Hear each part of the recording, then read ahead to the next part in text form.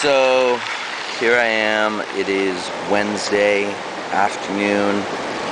Fought George Gurgel last Friday in Seattle and lost decision. Sitting here in Maui, reflecting, trying to take something meaningful and beneficial from the loss.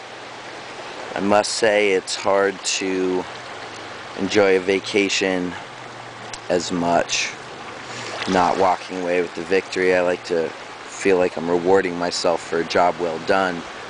And even though I fought my ass off, it's hard for me to, you know, come to grips with the fact that I lost. I know why it happened, you know. He, uh, he was circling, I was chasing, I didn't cut him off. I needed to start blocking the kicks early on, not wait until later in the fight. He'd already affected me. And, uh, you know, obviously I'm going to come back better and stronger next time. I, uh, you know, I did the best I could with what I had. But so now I'm here enjoying Maui.